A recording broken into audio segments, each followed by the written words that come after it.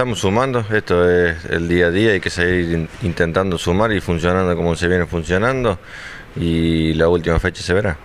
Eh, Nico, bueno, ¿cómo fue la carrera de este domingo? No, no, una carrera linda, eh, salimos a la estanda y bueno, eh, no, no, estábamos del todo bien, se hicieron unos cambios ahí y, la serie, para la clasificación ya, ya mejoramos un poco, quedamos segundos. Bueno, la serie largamos, una pista muy difícil, en la que veníamos peleando con Fabri, Fabri se pasa un cachito en una curva y, bueno, manoteamos la punta y además nos dedicamos a girar y mantener la punta.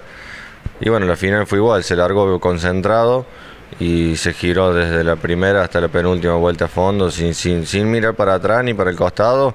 Y bueno, el resultado fue ese, la diferencia y gracias a Dios pudimos lograr la victoria de vuelta. Un, auto contundente, como quien dice. Sí, sí, se ha logrado un conjunto muy bueno, eh, tanto motor como chasis. Eh, se ha logrado muchísimo, tanto Esteban en el motor como los chicos del recuerdo de competición en el chasis. Y bueno, eh, cuando el conjunto está formado, se logran estas cosas. Y bueno, y el equipo obviamente se conforma con la parte principal que es el piloto también.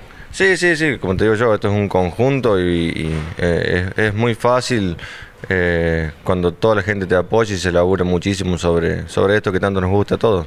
Eh, una fecha que suma punto y medio, Nico, y eso prevalece en cuanto a la cantidad que sumas.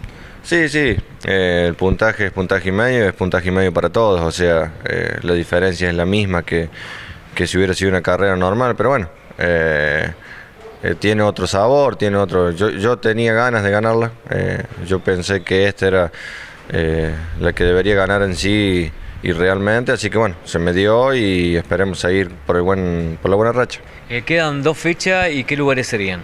Queda la próxima en Bulnes de vuelta y se define la final en Alejandro Roca.